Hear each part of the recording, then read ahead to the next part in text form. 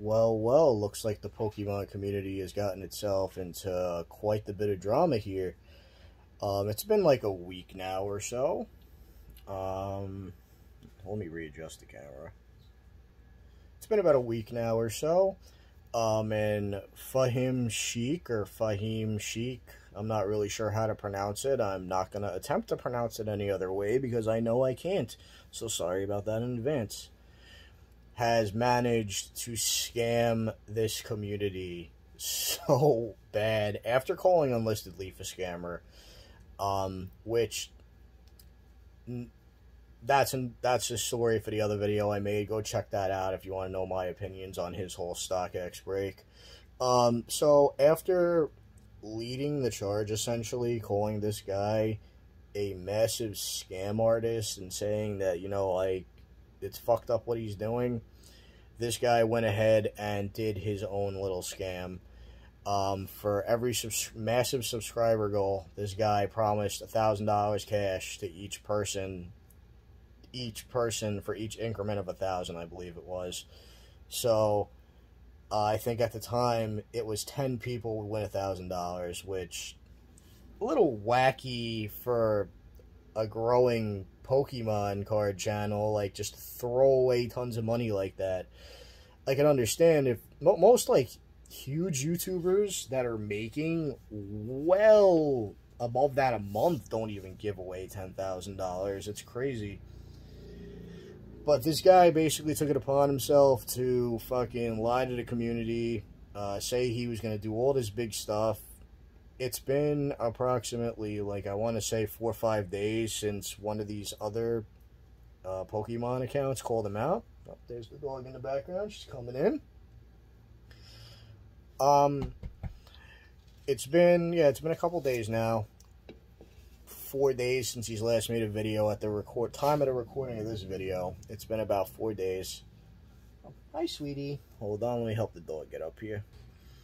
All right, I'm back. So uh, yeah, back back on uh, thought track. Ten thousand dollars. Most big YouTubers don't even give away ten thousand dollars. Ones that make tons more than that a month. So why would this guy magically have all this money to give away? It doesn't make any sense.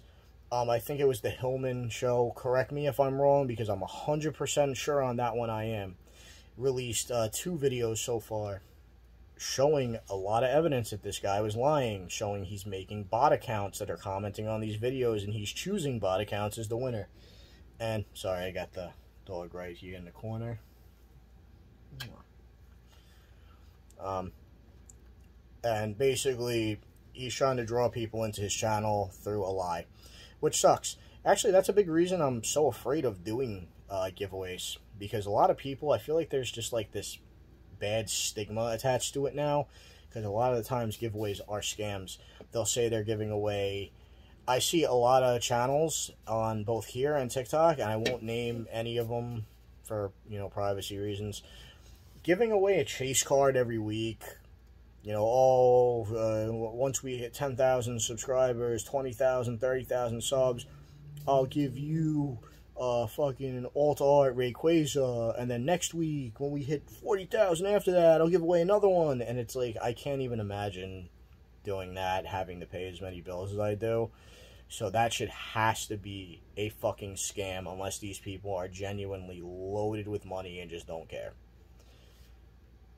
But anyway, uh, this guy, I think it's safe to say at this point he did scam. I mean, he, again, he hasn't made a hasn't made a reaction video yet. He hasn't made a statement yet, uh, except on his Discord where he claimed that it was just coincidence, that it was bot. It happened to just be a bot account that he picked on accident. But again, we'll see within the coming days. Hopefully, he will either fess up and admit he's scamming everyone, or he'll just slip away silently and everyone will forget he ever existed. Uh, that's really all I have to say about him. Uh, kind of a loser, if you ask me.